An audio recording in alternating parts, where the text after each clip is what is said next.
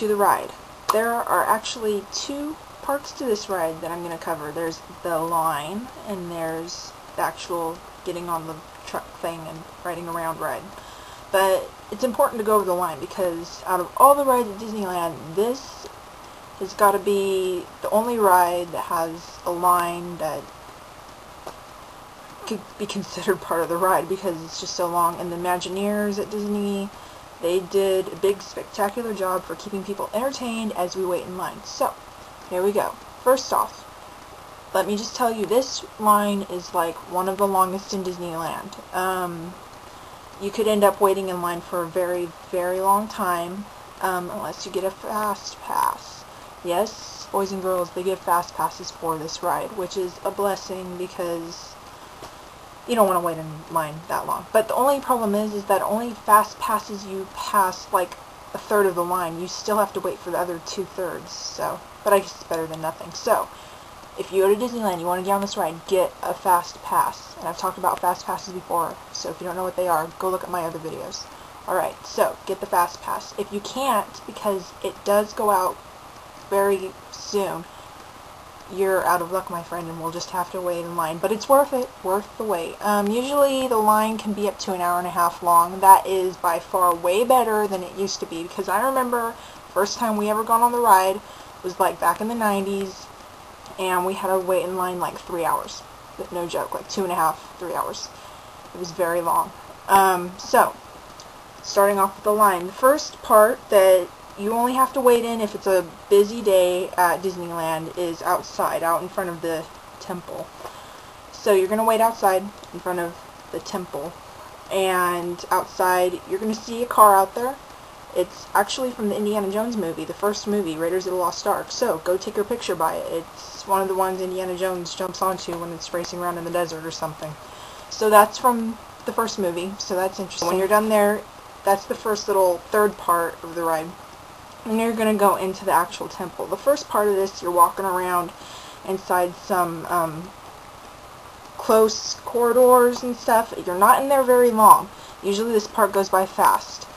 And it, it's kind of dimly lit. Don't let this scare you. It's okay. You're going to be soon getting into a big hallway where there's plenty of light. The, there's no roof above you, so you have the sun and all that and whatever. So after you're done with that part, you go into this this long hallway with all that, and then you're going to end up going into caves. This big cave thing with signs saying "Beware of bats," and there aren't real bats in there. Don't worry, but they have little fake eyes looking like bats in there. Then once you get past that, you go through these caves, you're going to come to this little hallway. It says, please don't step on the eyes on the floor. Well, you know everybody's going to do that anyway. It's not a big deal. It doesn't do anything. And there's also going to be spikes on the side with skeletons and stuff. Now, back in the day when they first opened this ride, this had a big bamboo pole that when you shook it, the ceiling would start to come down and it would freak people out really bad. Loud noises, it would come down like that. They have since either somebody complained about it and gave somebody a heart attack or something, so that doesn't really work like it used to. It used to be cool, like great. Now it's not. You move it, it kind of goes and it barely even does anything. So, yeah, you can go ahead and see if it still works. Sometimes it works, sometimes it doesn't. It just depends on what it feels like, I guess. But anyway, so you go out of that disappointment room, which was once a glorious thing in the ride you go past that, you go into this room, it's supposed to be like an excavation room.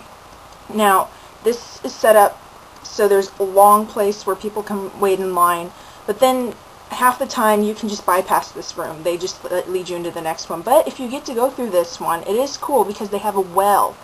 And supposedly if you pull on the rope, there's a voice that'll trigger and somebody will sound like they're down in the well and they start talking to you and they say different lines.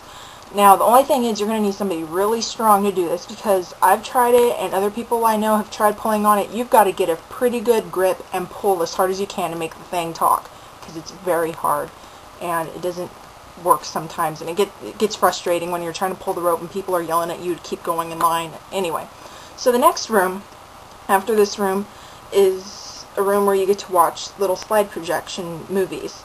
And one of these is done by John Rhys Davies, the guy that was in the first Indiana Jones movie and the third one, I believe. He was sidekick of Indiana Jones.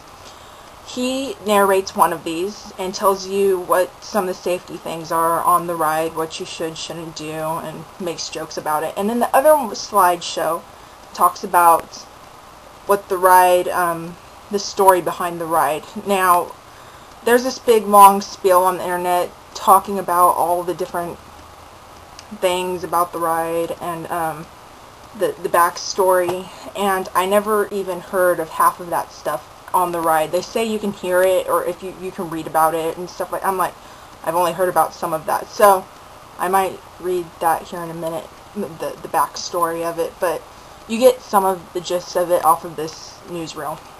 So once you exit this room, oh, it's really dark in that room. That's probably the darkest room because you have to see the thing.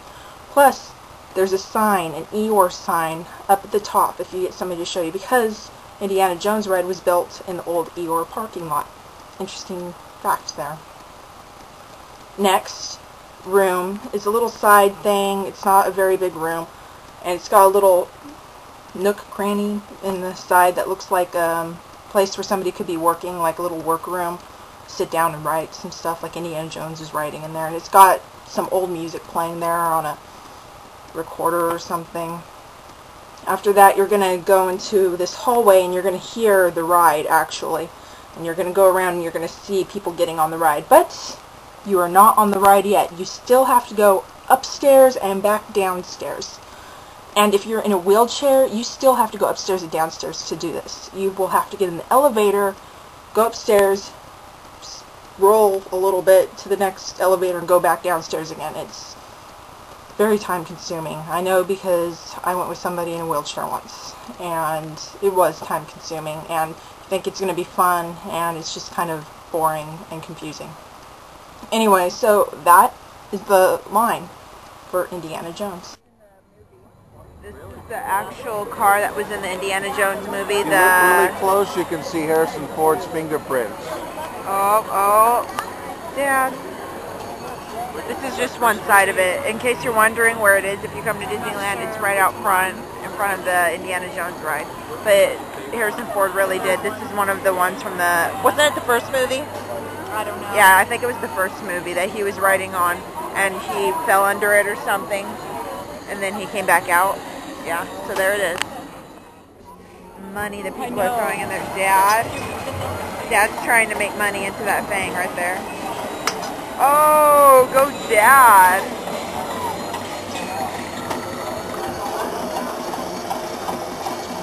Jesse, don't touch that. You'll die.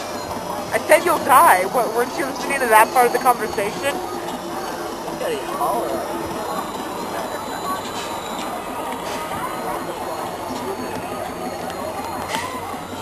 Guy with the hat in front of us. We're still outside taking forever. Okay, that was 20 minutes just to go through the outside part. We just went inside. Got inside and we're going through this part now. Did you hear the snake? Did you hear the bats? Yes. Water fountains for our convenience. the cave part. You know how many layers there are to this, to this line? At least we're walking now. I remember once we, oh no, no, no, we're being stopped. Watch your step.